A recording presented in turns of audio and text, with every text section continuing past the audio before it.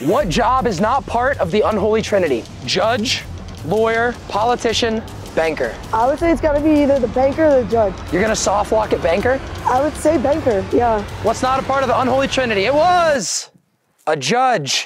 Banker, you got it wrong!